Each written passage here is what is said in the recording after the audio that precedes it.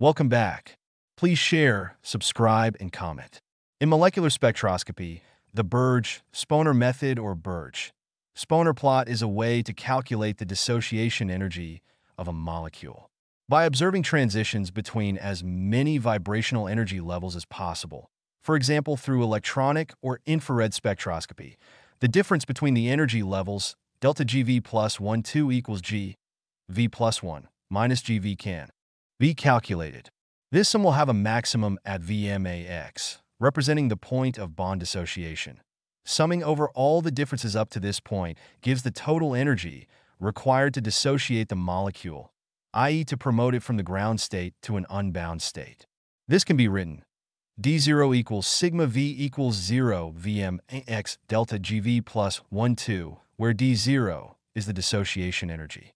If a Morse potential is assumed, plotting delta gv plus 1 2 against v plus 1 slash 2 should give a straight line from which it is easy to extract Vm AX from the intercept with the x-axis.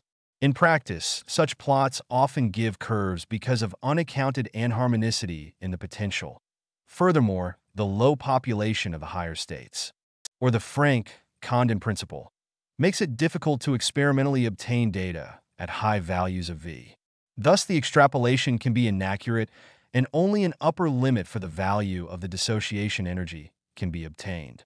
This method takes its name from Raymond Thayer Birge and Hertha Sponer, the two physical chemists that developed it. A detailed example may be found here.